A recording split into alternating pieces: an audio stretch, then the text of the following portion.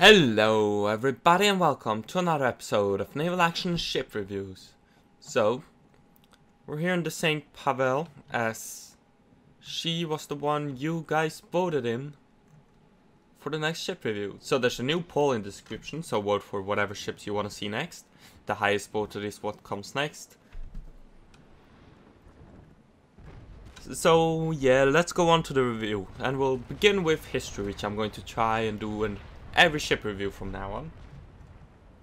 So the, the Saint Pavel, she was built uh, by uh, some shipbuilders in Ukraine at Nikolaev in Ukraine by shipbuilders A.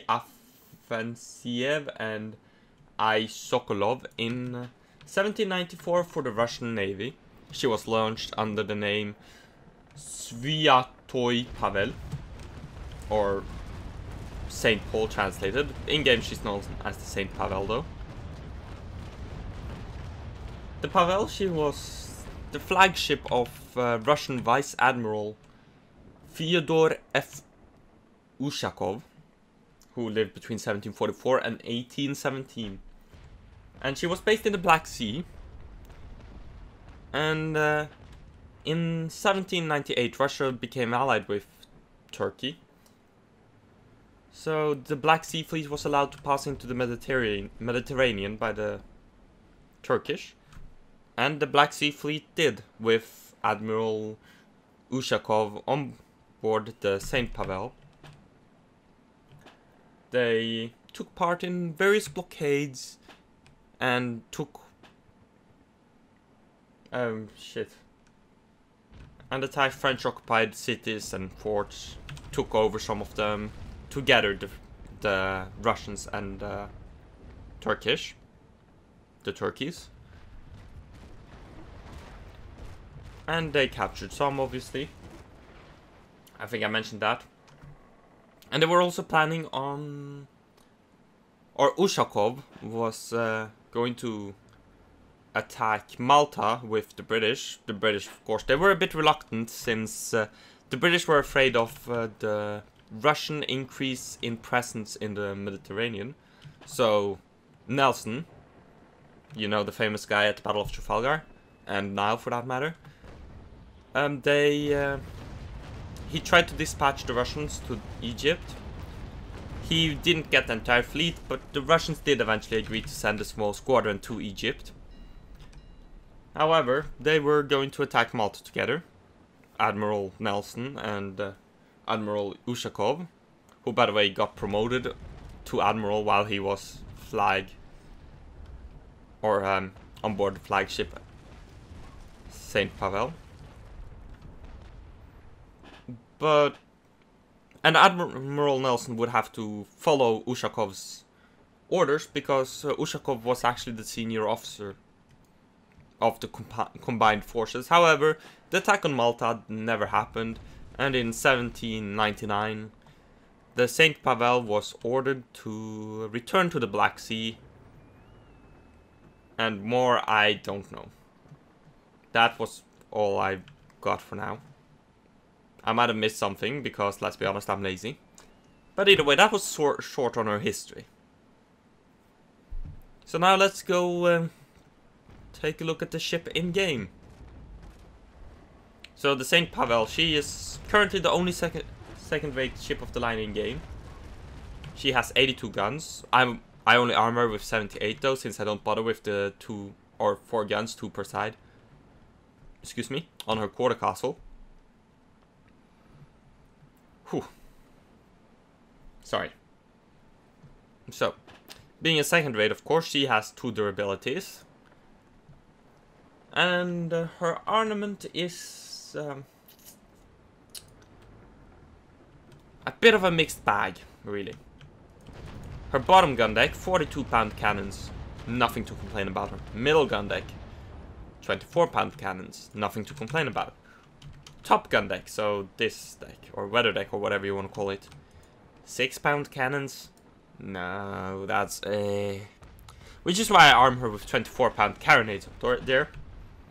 Which is, in my opinion, don't bother with the 6 pound cannons. They're putt-putt guns at this size of ship. And the same armament for her quarter castle. But I don't bother with cannons there, although there is an advantage to putting cannons there as height is taken into account when using things like fire deck guns. So if you have cannons there, fire deck guns should be more effective. So that doesn't hurt at all. Also, another thing of note, she has no bow chasers. Only ship of the line with no bow chasers. Which is disappointing. I think I would have liked the Pavel a lot more if she had bow chasers. Since she is a quite a fast ship, so it hurts a bit that she doesn't have any bow chasers. But that she is quite fast. She's the second fastest ship of the line. She is slower than the Ingermanland, but until recently, until the Ingermanland was added, she was by far the fastest ship in the of the line. And she still is very fast. Don't don't think otherwise. Her crew count are also quite high.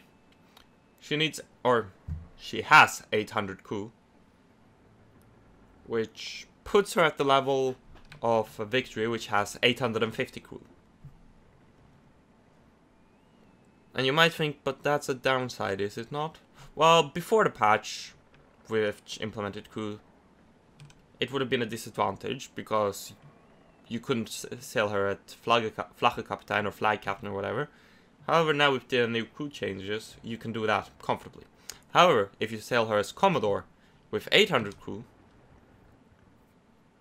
you can use her very good speed, her high crew capacity, load up the boarding modules, and you have an amazing boarding ship. You could easily cap two, three other ships of the line in a battle, which could be very effective. If you have like one Pavel or two Pavels in your fleet as dedicated boarders, and say in a port battle you could just cap a couple of uh, their ships of the line and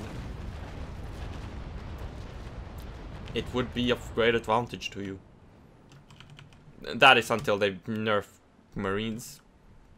We don't know how how good that will be, that strategy will be then, but it might still be a viable strategy strategy. So she is an excellent boarding ship. She is also an excellent ship of the line though as just a regular fighter. Because she has very big guns, 42 and 24 pounders. And of course 24 pound carronades, it's stupid to bring the 6 pound cannons, don't even think about it. Seriously, they don't do shit.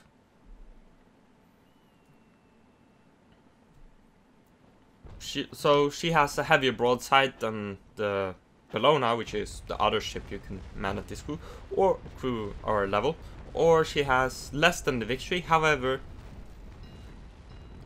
she has other advantages over the Victory, which I'll get to soon.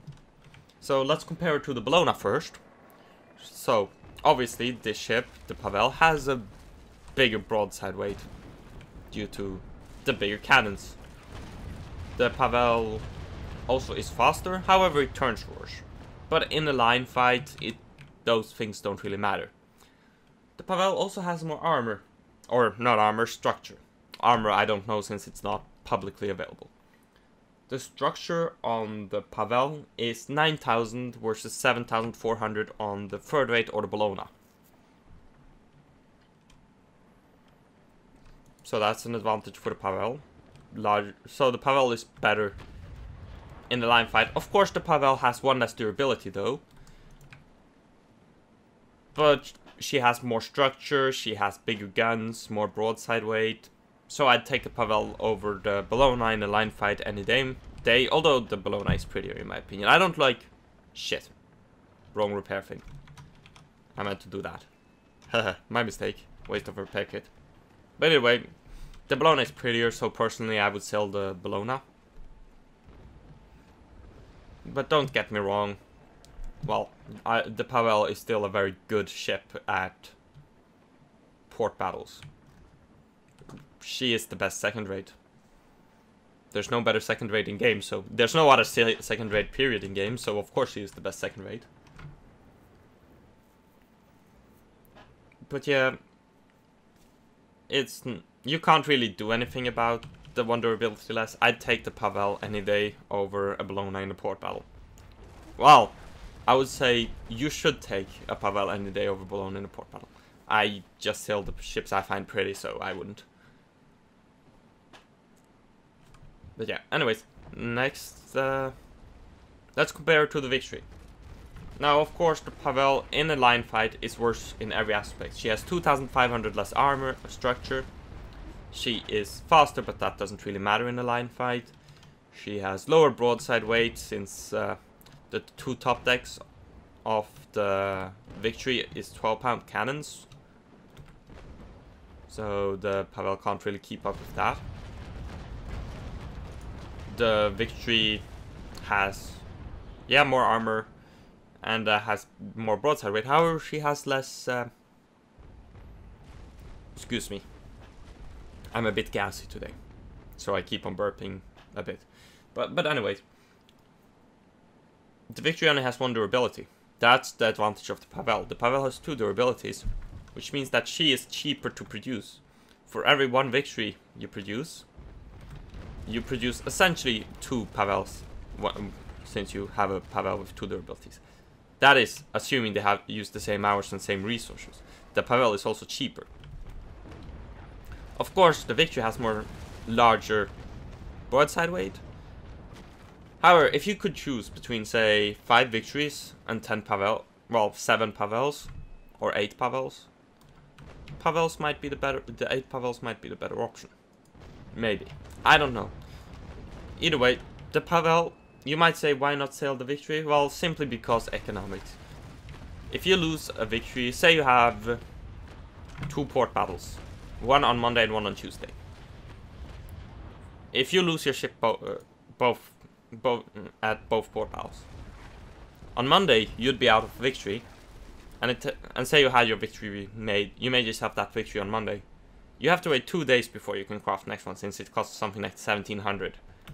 The Pavel, meanwhile, if you lose the durability on it, you can still partake on Tuesday. But you can't partake if you use the victory, assuming you build it yourself, have all the materials ready beforehand and so on.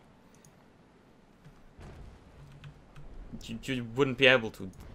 That is if you lose the victory. However, the ch chances of losing the victory, you would imagine, is smaller. It might be. However, of course, you being in a victory, you'd probably be focused down. So, the victory, of course, five victories, beats five Pavels anytime. However, if you can't afford to keep up with the victories, for whatever reason, Pavel is a very good second choice. She is more than capable in a line fight. She has 1400 more armor after uh, more armor than a Bellona or structure than a Bellona after all. And you can also load her for boarding. Maybe you'll cap yourself a victory. Seriously, she would do very good as a boarding ship. And there are lots of people that use her as a boarding ship. Due to her speed, crew count. And now with the crew system, if you're at Falafel Kapitein, you can also crew this. You would strugg struggle to crew, say, the Victory, however this you could quite comfortably crew.